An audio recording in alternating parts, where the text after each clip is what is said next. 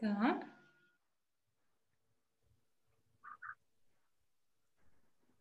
Я перезашел. Ага, хорошо. Сейчас я тебе переназову.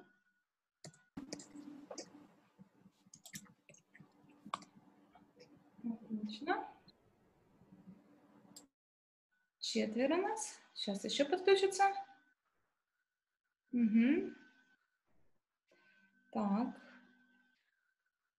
Share screen. Угу. Так, вам видно, да? Хорошо? Хорошо видно? Да. А, итак, таких пять мест, да, мы уже поговорили, а, и всех а, вот эти вот пять мест, их объединяет а, общие какие-то традиции, общие э, вещи, которых они придерживаются.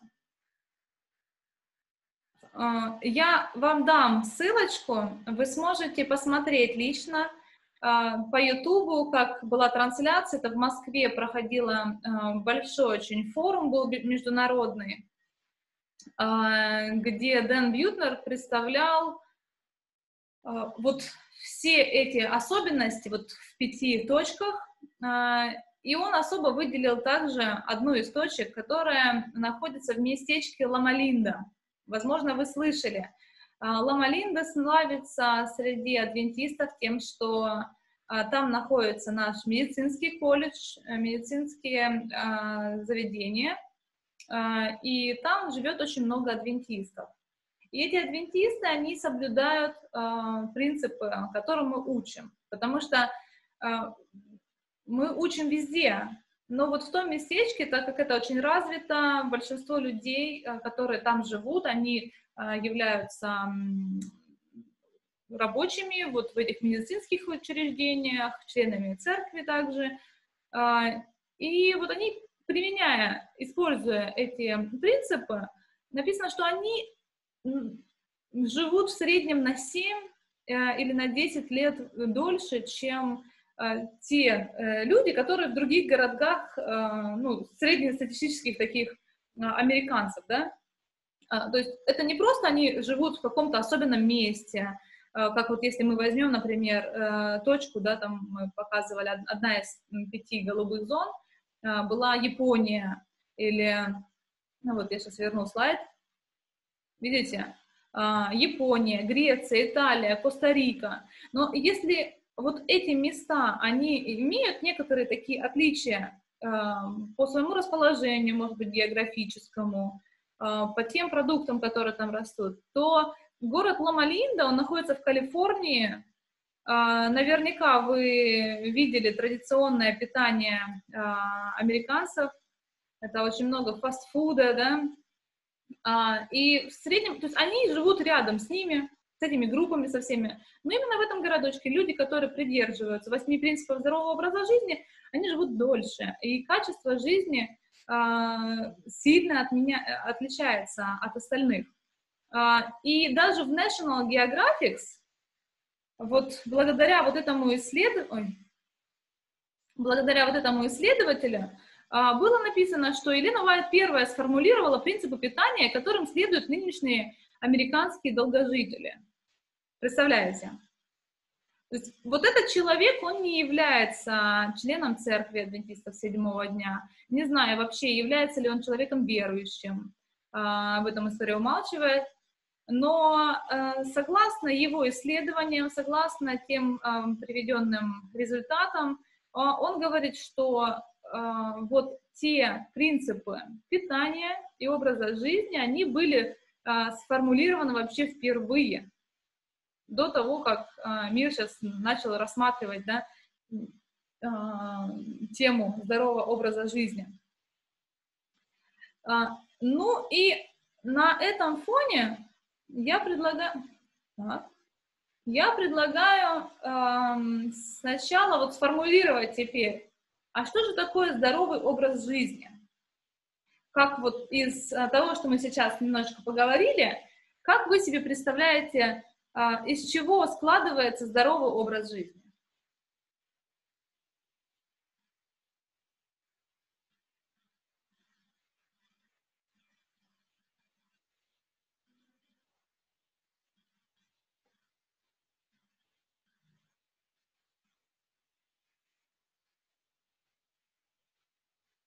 Ну, давайте. Поделитесь мыслями. Неправильных ответов нет. У вас, а, вы же, ну, можете примерно описать, что, как вы это понимаете. Что такое здоровый образ жизни? Держать себя в форме. Поддерживать в форме, абсолютно верно. Для чего? Ну, ну чтобы не ходить таким, Чуть-чуть громче, плохо слышно. чтобы не ходить таким, ну, короче, держать себя в форме, все. Мгм. Поддерживать э, форму, чтобы быть крепким, да? Хорошо. Профилактика, может быть, здоровье, да? Ну ладно, давайте посмотрим следующий слайд. А, как Денис правильно заметил, укрепление человеческого организма в целом, да, поддержка форме себя. Это также профилактика болезней, да, чтобы а, был, вот как э, Лиза до этого говорила, более крепкий иммунитет, ну и сохранение здоровья, то есть э, делать какие-то шаги, чтобы не усугублять какие-то проблемы, которые уже, может быть, есть, да, сохранение здоровья. Ну, ладно. А вот такой интересный вопрос. А какова мотивация вести здоровый образ жизни? Каков в этом смысл? Вот а, если бы вы вот, решили, или, может быть, уже решили а, вести здоровый образ жизни, для чего? Ну, удли... ну, короче, второе. А, удлинение жизни, да? Но я тут набросала а, просто, это вот как пример вам, но мне интересно, что еще бы вы хотели. Ну вот, э, Денис, ты говорил, да, уже, чтобы в форме себя поддерживать. А, Какая еще может быть мотивация?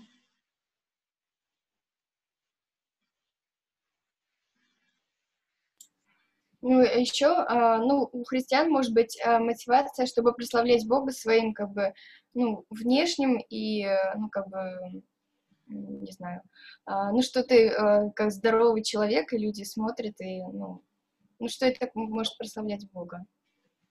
Мгм. Абсолютно верно. А, вот, пожалуй, этот ответ, а, который я, я хотела бы услышать тоже. Спасибо. Еще, может быть, Павел, может быть, ты хочешь добавить что-то? Какая у тебя мотивация?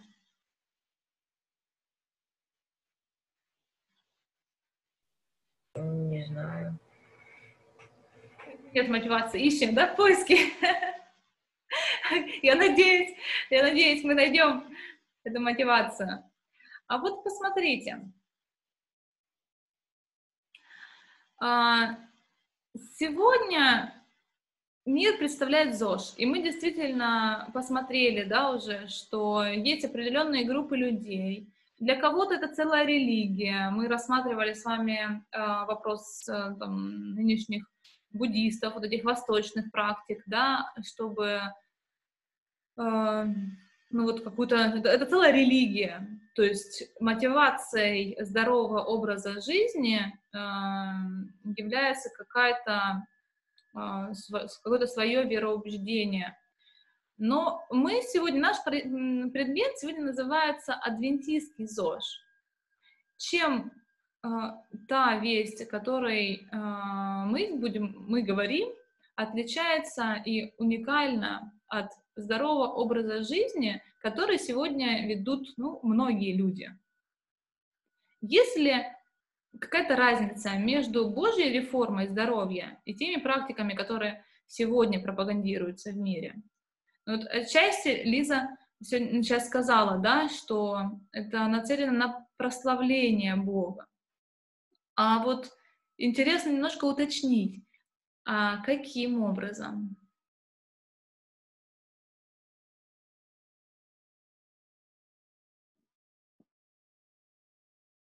Ну, то есть, например, э, у нас э, в восьми принципах здоровья есть такой принцип, что доверие Богу. А многие люди в мире, которые ведут здоровый образ жизни, они как бы это все делают, э, ну, для себя, да, чтобы, ну, они меньше болели, чтобы там а, ну, как-то выглядели привлекательнее, чтобы там не было каких-то проблем. Ну, а, а, а здесь как бы еще и не только что внешнее и физическое поддерживается здоровым образе, образом жизни, а еще то, что а, это переносится, ну, то есть на духовную а, жизнь человека, что, во-первых, он доверяет Богу, и он как бы человек, а, если он живет по ну, адвентистскому образу жизни, то он э, руководствуется тем, что было от начала, да, то есть э, тем, что Бог в него заложил. А люди, которые в мире ведут здоровый образ жизни, они только смотрят, э, ну, что там считают, там, какие-то исследования проводятся, и не всегда они могут быть правильными. Вот. Угу. Хорошо, спасибо, да, так. А вот э, еще такой наводящий вопрос задам. Как христиане мы к чему призваны? Вообще наша, наш смысл э, жизни? Как людей верующих? Рассказывать людям о здоровом образе жизни. А, а еще о чем?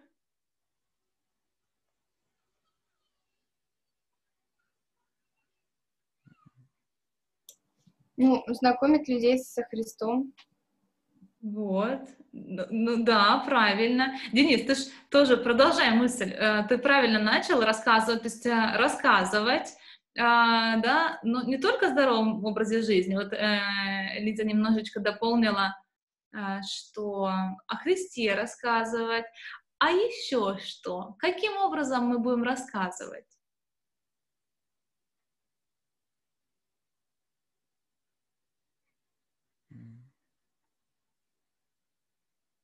Мы будем кричать, мы будем их лопатой бить. А ну, быстро покаялись. Ну, мы можем не только как бы и проповед... проповедовать людям, мы можем показывать своей жизнью что-то, чтобы они сами делали вывод. Так, что больше всего людей притягивало ко Христу?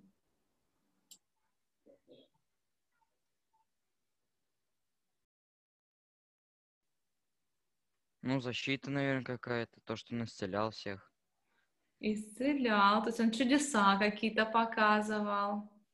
А он как относился к людям? Хорошо.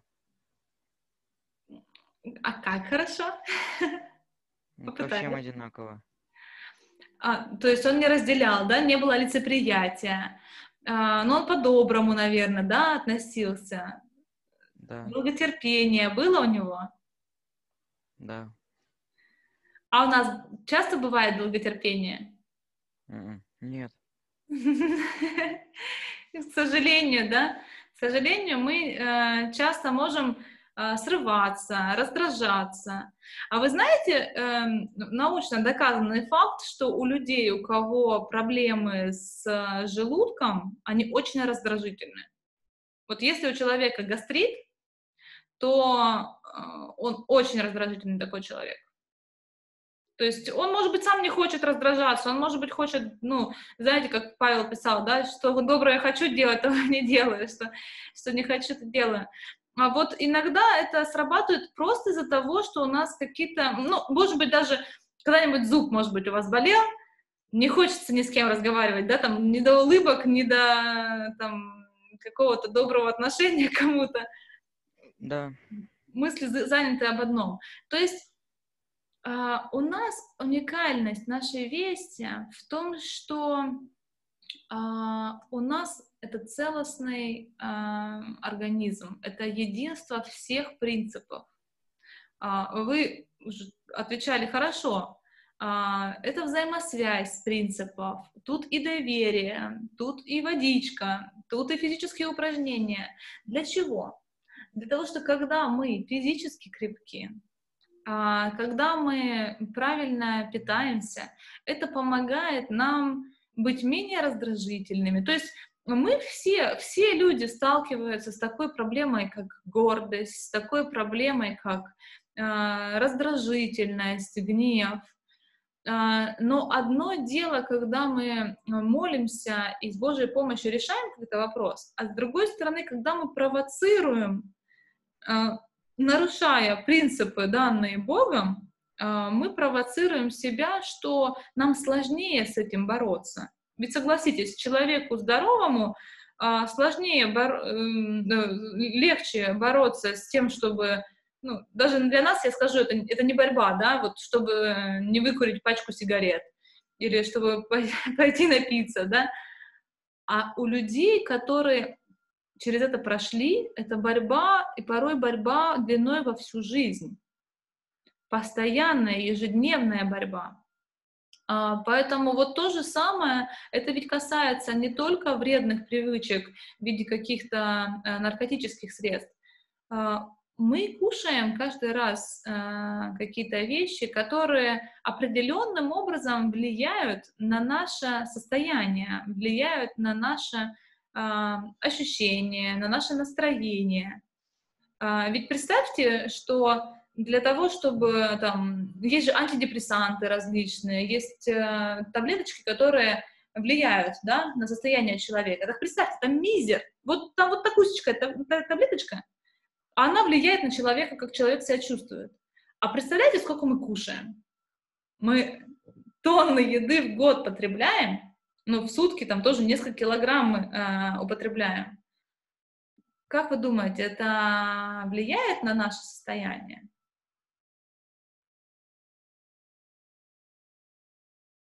Конечно, влияет. Влияет. И это касается не только, это вот я сейчас сферу питания зацепила, но а, каждый из принципов, которые мы будем с вами рассматривать, каждый из них определенным образом влияют. И они настолько сильно а, взаимосвязаны, что это просто удивительно. Мы будем об этом говорить на последующих также уроках, а, и даже на этом чуть-чуть мы затронем эту тему. А, насколько это все единый неразрывный механизм. Настолько же, насколько вы не можете отсоединить, да, вам сегодня, допустим, чуть-чуть голова перегружена мыслями различными, вы не можете голову отделить от своего тела и подумать, что-то я сейчас не хочу, не настроена об этом думать. А, это невозможно. Вот точно так же невозможно один принцип отделить от другого, если он даже нам нравится или не нравится. То есть это первый, э, первая уникальная весть э, нашего предмета в частности. А второе, то, о чем мы сегодня затронули, это весть дана около полутора веков назад, реформа здоровья. И она не является разработкой ученых, она не является плодом каких-то исследований, она является откровением свыше. А то, что является откровением свыше, как вы думаете, стоит того, чтобы этому уделять внимание? Мы с вами читали, да? Господь имеет о вас намерение во благо, а не на зло. Поэтому нам стоит прислушиваться к тому, чему нас учит наш Творец.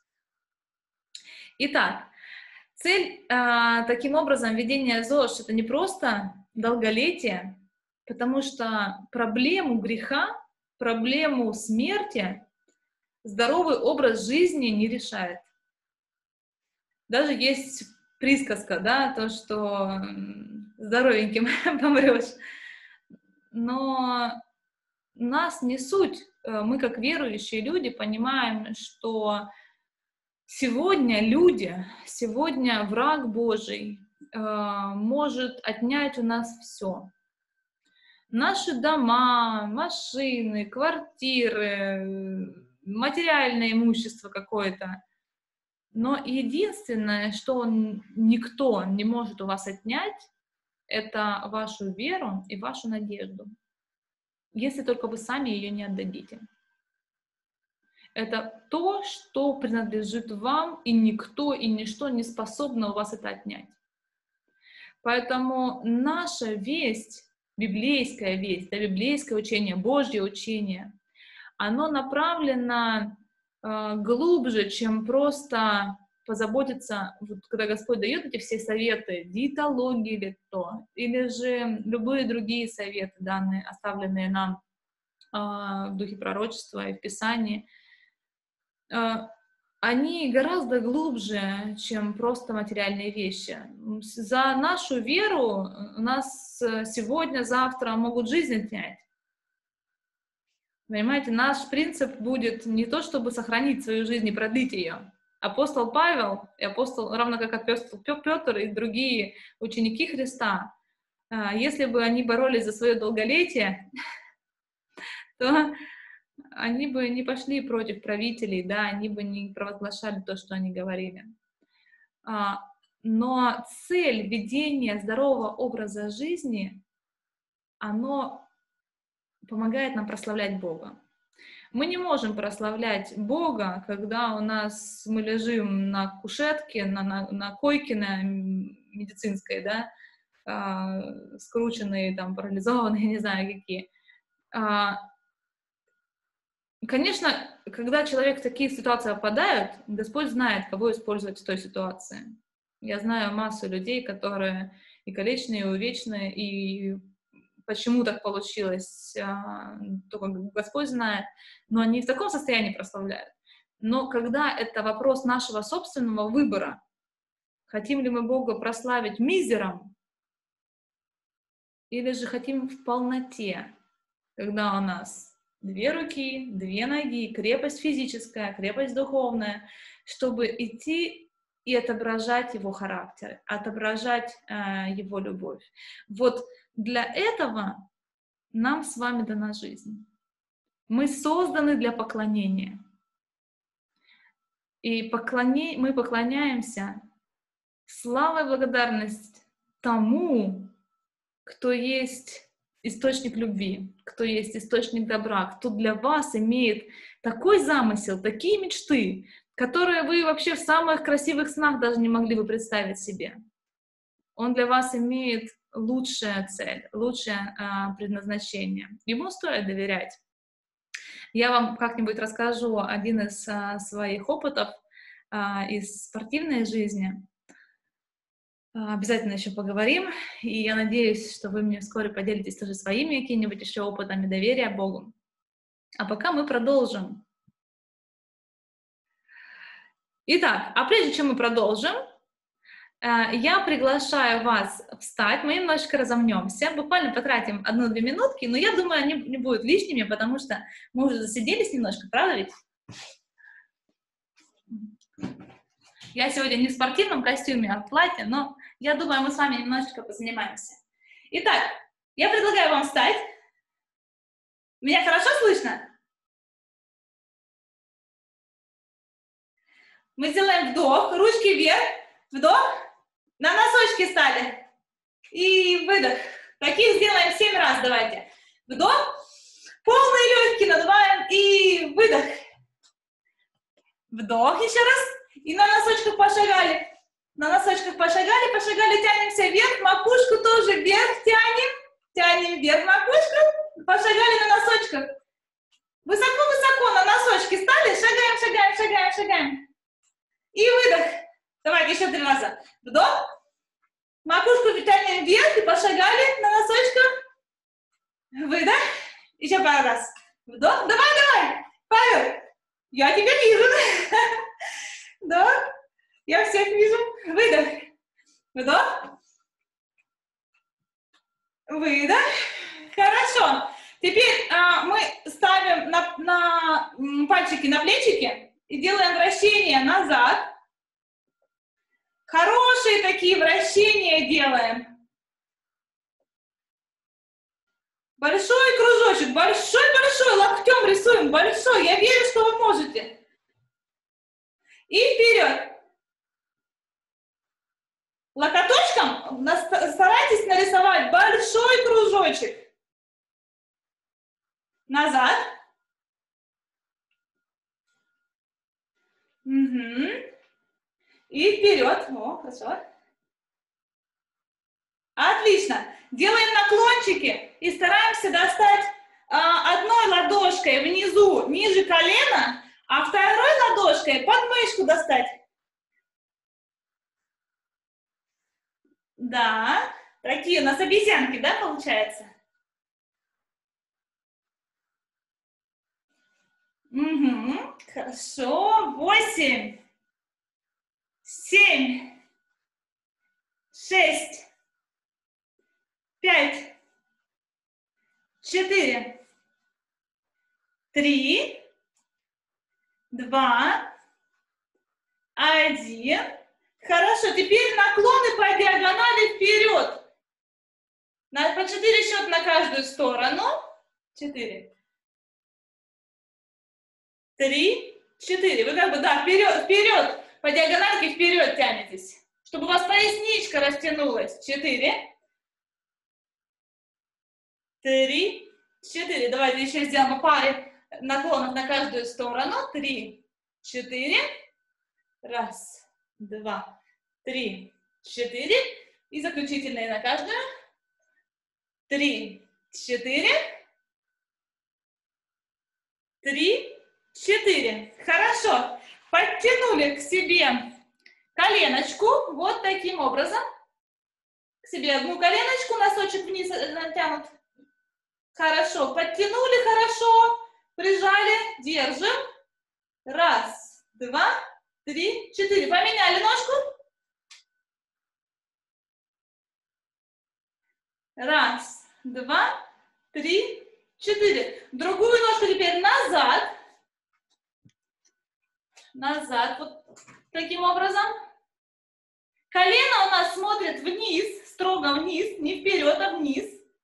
Прижали к ягодице пяточку, подержали таз, подкрутили вперед, чтобы у вас не было прогиба в пояснице, а чтобы у вас поясничка ровная была. Коленка смотрит вниз, Хорошо, поменяли ножку. Вот таким образом. Держим. Таз подкрутили. Хорошо. Подтянули к себе ножку. Три, четыре. Хорошо. Еще раз делаем вдох. Вдох. Задержались наверху. И выдох. Наклонили головку вправо. Влево. Ушком постарались дотянуться до плечика. Еще раз. Вправо. Влево. Вперед. По диагональке вперед, да? Чуть-чуть наклонили. И в другую сторону. Молодцы. Назад. Полукруг. Отлично. Подняли, э, по, по, ну, как называется? Плечики подняли, опустили. Подняли, опустили. Подняли, отпустили. Хорошо. Продолжим. Чуть-чуть размялись.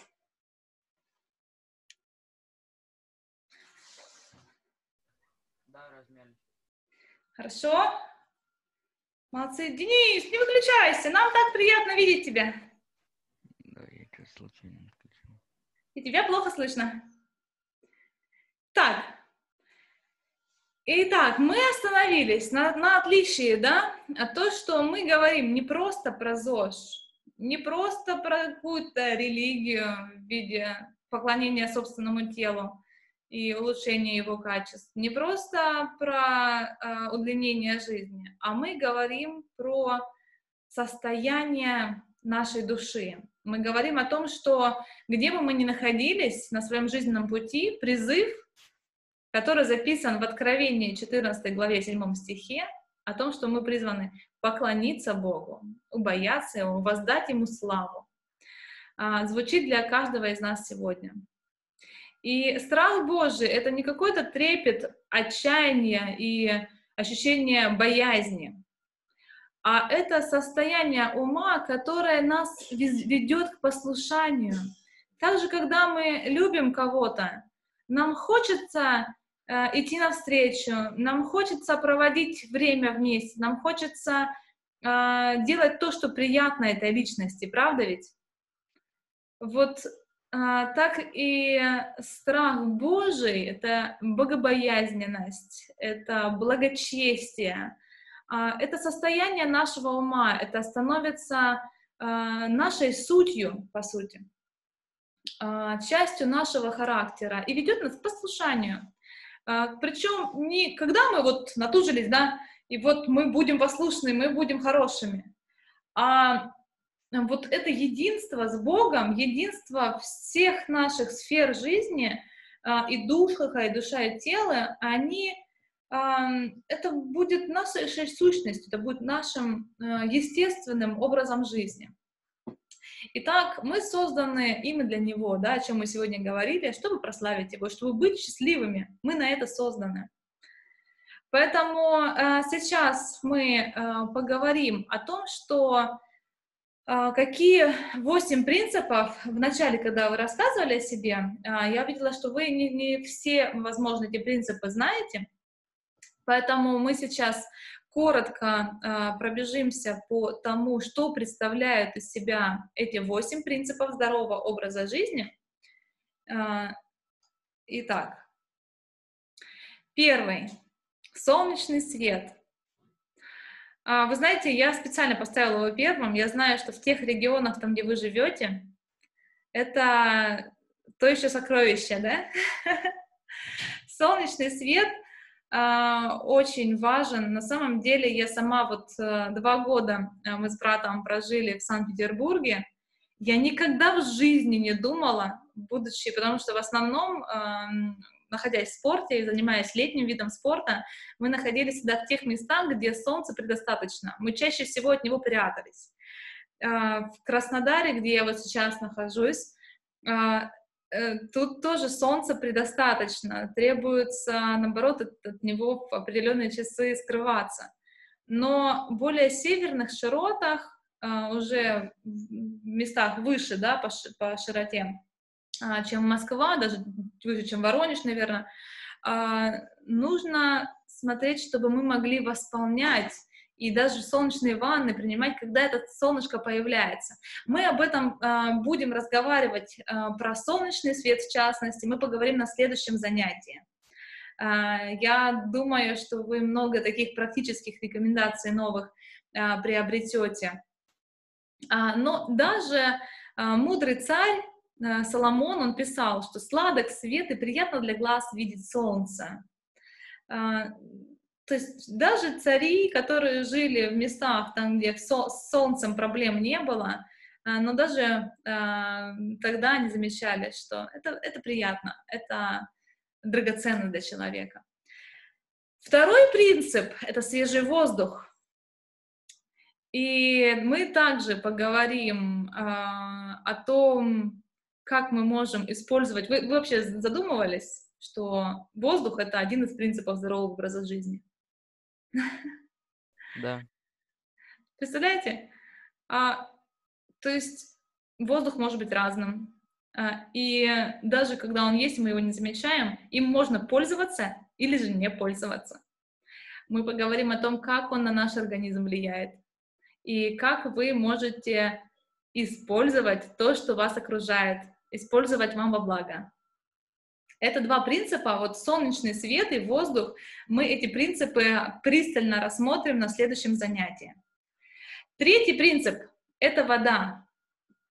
Но э, здесь, я думаю, все элементарно э, ясно, но этому э, принципу мы тоже посвятим определенное время.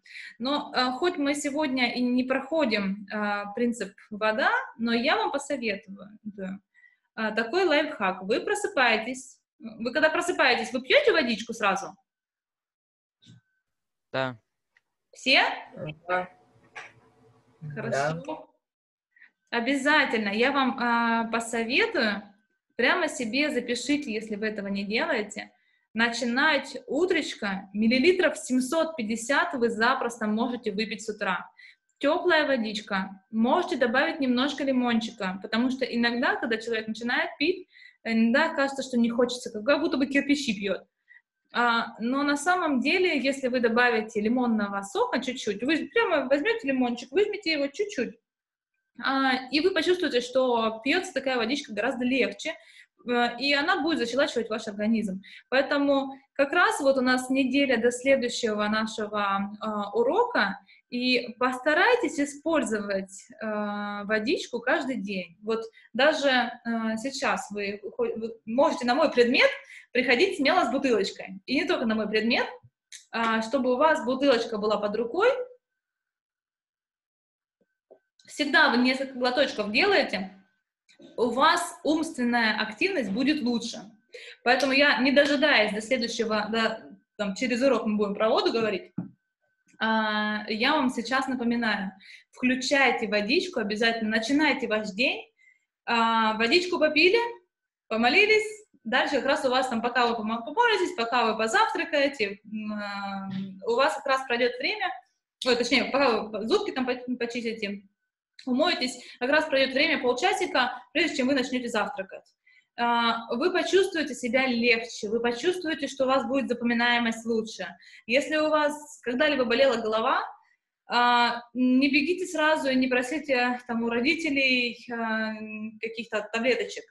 Выпейте достаточно воды. Пару стаканов воды заменят вам любые таблетки. У вас перестанет вода болеть. О, вода, голова, болеть. Поэтому э, используйте этот лайфхак, потом со мной поделитесь на следующем уроке. Итак, четвертое. Ну, конечно же, питание. Питание — это отдельная тема, большая тема очень. Мы будем проходить это тоже с вами. Будут мастер-классы. Кто еще не пробовал моего Наполеона веганского, я прям поделюсь с вами рецептом с удовольствием очень вкусно, вам понравится. Вы потом не заходите никакой пирог э, другой покупать, будете делать себе сами. И родителям вашим подскажете. А, а какие, может быть, э, творожки зеленой гречки? Это просто объедение. Но веганских рецептов очень много, они реально крутые. Это то, что вам даст и заряда бодрости, и хорошего самочувствия. Вы своих друзей будете кормить, подсадите на это все мороженки, которые вы не перестанете тратить колоссальные средства, чтобы покупать мороженое, будете делать их сами, будете вот, вот такими просто друзьями. Короче, а, вот. Питание, это мы еще затронем с вами. Физические упражнения. Вы знаете, чаще всего, когда э, рассказывают о физических упражнениях, показывают фотографии, как там мокрые, потные люди пыхтят в зале. На самом деле, вот я неспроста вам привела вот эти фотографии к э, стенду, к принципу физических упражнений. Вы видите, это активное времяпровождение с семьей. Это может быть прогулки на природе, это могут быть э, совместные какие-то, да, вот э, такие вот вещи. Это также, если у вас есть огород или же земельный участок, если вы в доме особенно живете. Если нет, это может быть даже какие-то растения, может быть, которые вы дома э, держите. А, или же это может быть, если у вас нет никаких растений, и вы не умеете с ними обращаться, не мучите их, а, помогите вашим а, родителям по дому. Используйте некоторые такие пропустите э, очередную заброску ваших вещей грязных в машинку, постирайте сами. Uh, у вас будут напрягаться целый ряд мышц. Это послужит вам хорошей зарядкой, как бы это ни странно звучало. Uh, уборка по дому может стать классной зарядкой вообще, поэтому включайтесь. Вам, я думаю, родители будут благодарны очень сильно. А, плюс вы сами, поди, вот мы сегодня просто так на носочке становились, там э, руками мотыляли вверху.